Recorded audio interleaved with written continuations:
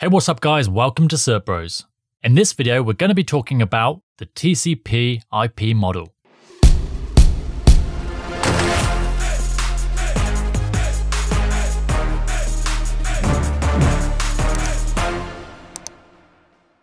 Quick warning, we're going to be referencing the OSI model a lot here. So if you haven't already watched that video, check that out first, then come back. Okay, so what is the TCP IP model? It's a model to standardize computer networking. Sound familiar?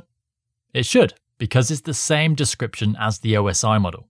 Now, the OSI model, while widely referenced, isn't used in the real world. The TCP IP model, however, is the real deal. Thankfully, it's not that different.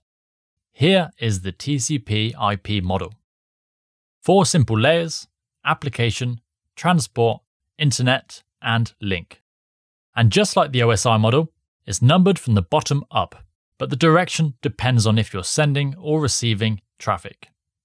So this is the original model, but it has been updated. Here is the brand new, freshly designed model.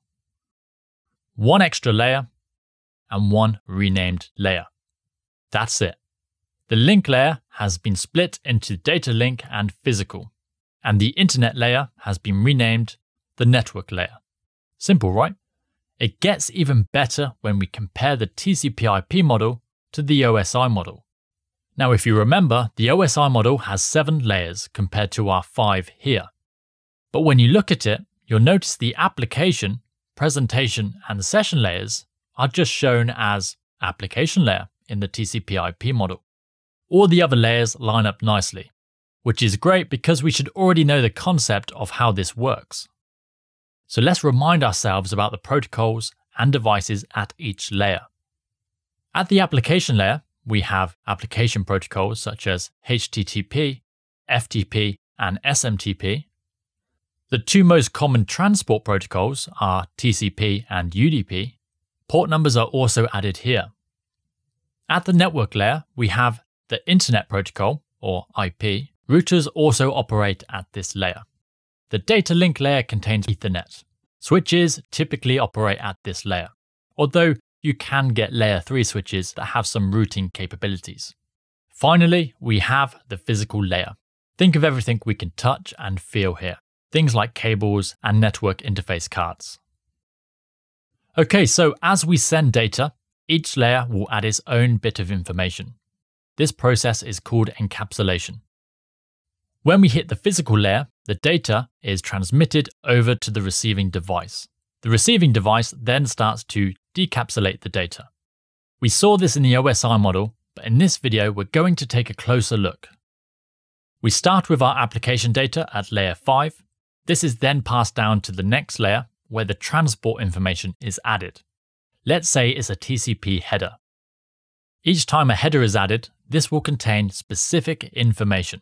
For example, a TCP header will contain things like the source and destination port number, sequence numbers, and a few more bits of information. We'll go over this in more detail in a separate video. We then move to the network layer, where we add the IP header. This will contain the source and destination IP address, as well as some other bits of information. Lastly, we have the data link layer. Here we add not only a header, but a trailer as well. The header contains mainly the destination and source MAC address, and the trailer contains some error checking information that the receiving side can check and make sure the data has been received correctly. Once the data hits the physical layer, it is physically transmitted. So, we've gone through the encapsulation process. It's important to note that at each stage, the data has a specific name. At layer 5, the data is called, well, it's just called data at this stage. Once the transport information has been added, it's now called a segment. Adding the network layer information makes our segment a packet. And finally, once we add our data link information, the packet becomes a frame. Now, once data has been transmitted, the receiving computer decapsulates the information. It will check the destination MAC address for that frame, and if the frame is destined for our computer, it's processed further. The computer then checks the IP information off the packet. Again, if the packet is destined for our computer, it's processed further. The transport information is read and the application data is sent to the receiving application. So that's it for the TCP IP model. After looking at the OSI model, thankfully there isn't much else to learn. This video is part of our full CCNA course, which can be found in the description. If you liked this video, don't forget to like, comment, and subscribe. The feedback from you guys really does help the channel. Thank you for watching.